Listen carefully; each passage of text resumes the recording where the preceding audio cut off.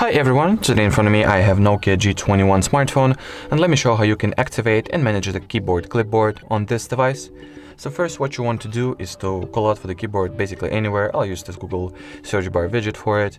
Here locate this very icon that, stand, that stands for the clipboard itself, tap on it, and in order for the clipboard to be activated, all the, that it's left to do is to turn on the switch, and as you can see the clipboard has been successfully enabled.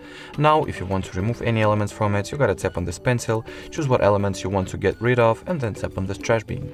In order for you to add anything to the clipboard, you gotta simply copy it, so let's say I want to I will type in the word car, select it, copy, and if I'll get back to the clipboard, I'll see that the car element has been successfully added to it. And from now on you can paste it from here or basically any other element you have present at the keyboard clipboard of your device. Alrighty, so that was it for this video. Thank you so much for watching. Don't forget to leave the thumbs up and subscribe to our channel. Bye bye!